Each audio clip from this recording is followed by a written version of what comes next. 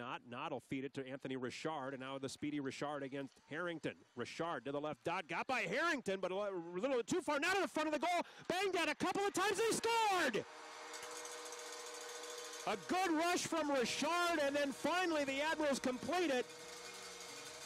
LeBate and Knott taking whacks at it. It looks like it's going to be Graham Knott's goal. If it is Knott's, it's his fourth at 8-12 of the first. We're tied at one.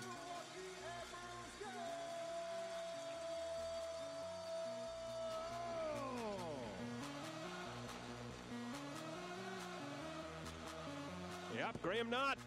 Great replay.